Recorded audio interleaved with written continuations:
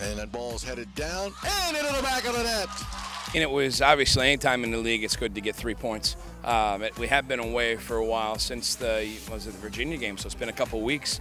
Um, fortunately for us, we've been on the road, and, and while we had all the, the monsoon-like rain, uh, the field was okay. Nobody was playing on it, so so that's good.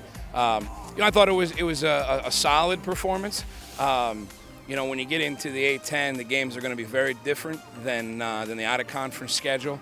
Um, you know, some of the nice things about playing some of the best teams in the country is uh, they're going to play and, and you're going to play, and so the game's much more open, and, and, both teams have you know the ability to create chances just through the run of play, and, and it's uh, you know not quite as packed in as you get in. Sweets cross. Saku lets it go in a shot, and Kai Marshall finished it off, I believe. Yep, it was number 11. Game, I thought that the other team just got really tired and gaps started to open up and Cody made a really good run out wide and Avon actually made an amazing run for me and opened up a lot of space and I was free on the top of the six and it's a goal. Actually, we went in at halftime and coach specifically told us to just keep our cool and stay level-headed, don't get caught up in the mess because the other team's going to get frustrated when we keep the ball. But uh, yeah, that word from coach really helped us, and I think we were much more composed in the second half as opposed to the first half. You know, we have a little shorter turnaround here between uh, you know Wednesday and Saturday than we do between Saturday and Wednesday.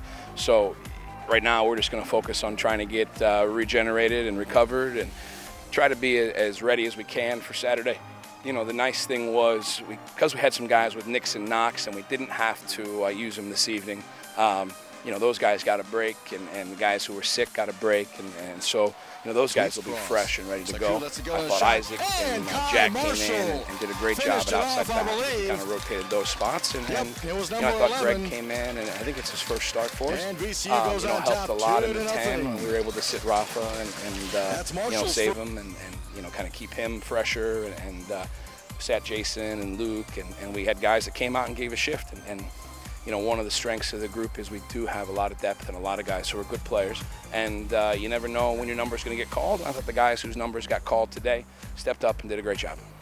I think we had a really good week last week, and I think it's just up to us to be smart all the time and just take advantage of every day, like Coach says, and uh, just take next week and just get better every day.